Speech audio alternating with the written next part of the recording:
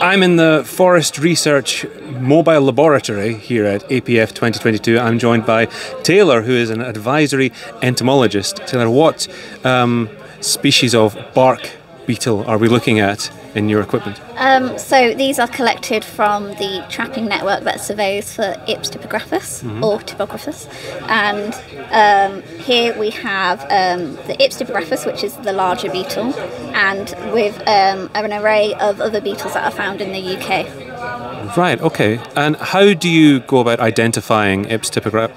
Typographus, typographus? Um, we use taxonomic keys, so that goes through, it's a step by step process that go through the different characteristics that slowly get you to the species that you want.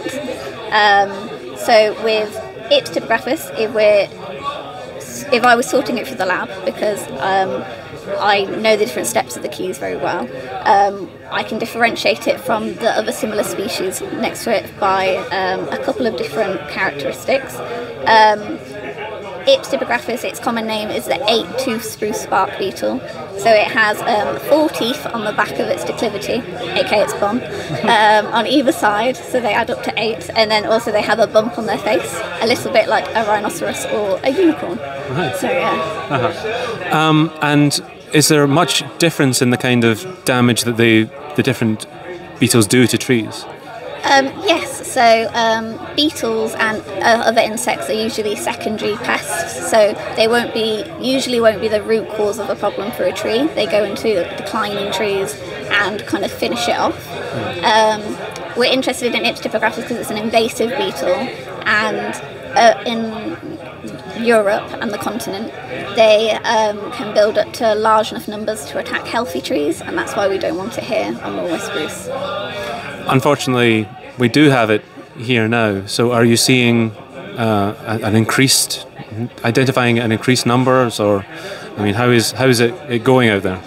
It's not established here, so we had um, an outbreak in 2018, mm-hmm. and we've got um, current works to catch any outbreaks that happen due to large weathers. We know that um, it's flying over rather than spreading in the UK. So we have um, a number of steps to help stop that. So we have drone surveys that pinpoint um, unhealthy trees, so then we can go survey those forests.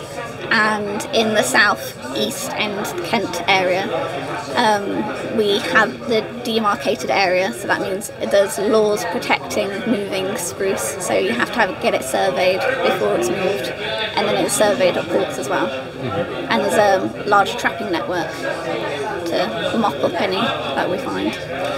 So, if someone thinks that it's been discovered, um, they need to get it identified as soon as possible. Really, is that the? Yes. So um, we'll either come and with the traps, the samples get sent to us, and we'll ID the beetles. Or um, you could put, if you think you found it, you can put an inquiry through Tree Alert um, with some photos. Um, we ask for free photos, so um, a faraway photo of the tree that you see in decline, and then any close-up images of either galleries or exit holes, and with some information on the location, and then we'll answer it and send people out to have a look. Great. Well, I'm going to go in for a closer look. Talor, thank you very much. Thank you.